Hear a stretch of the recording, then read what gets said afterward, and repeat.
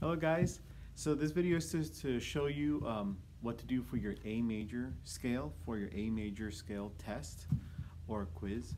Um, so first things first, make sure your shoulder rest is on. Remember that it should look like a little smiling face, right? So you should, you should have your shoulder rest on, right? If you don't, you're still waiting for it to come in from Amazon or whatever, um, then just kind of make sure that you realize that you're gonna have to hold it up a little bit because with a shoulder rest you should be able to hold it just with your chin and cheek right?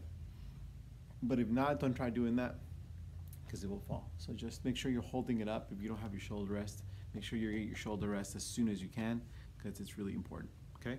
So you have it you're getting position. I'm gonna scoot over so you can see what I'm doing over here. So you have you're in position you're gonna make an L with your left hand. Your thumb is gonna go under the fingerboard and you're gonna be plucking with your index, okay? On your left, you're gonna make a J and you're gonna put it right by the nut of the violin, okay? So be careful that your the neck of the violin doesn't sink in all the way to the bottom by where your thumb is. It needs to stay right in this spot right here of your left hand or your index right in this area. So the neck right here should land right there. And then with your thumb, that's why you make a J so that this thumb holds it in place. So it's right there. And let me show you what it looks like from this angle here. It should be like that, right? Your finger should be like that, right? From your view, it kind of looks like this sort of, right? So so it's right there. So you're in position, right? So you have a J, but then once you have that J, these fingers are gonna curve a little bit because you're gonna use them, right? So you're gonna have, you're gonna play your A string, right? And then you're gonna put your index down on the yellow tape, which is your first finger, okay? That's where your first finger goes, goes on that yellow tape. And then you're, you're gonna make sure you play that one.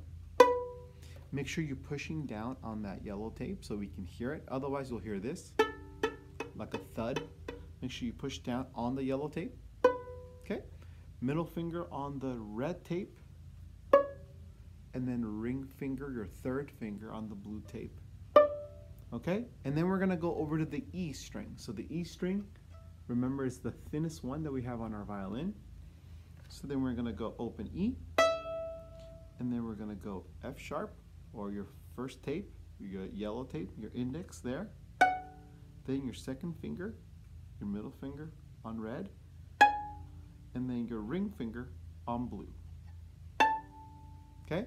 So all it is is you're open and then you hit the first three colors on your on your tapes, yellow, red, blue, and then open E, and then yellow, red, blue. Index goes on the yellows, middle goes on the reds, ring goes on the blues. Okay? So that's what you want to do. So all together, when you do your quiz, you can go nice and slow. So I'm going to give you like a little example what I should hear. I should hear, let me get in position to feel. This collar is kind of getting in my way a little bit. So we have open, yellow, red, blue, open, yellow, red, blue. So just like that, if you want to do it slower, that's fine. If you want to go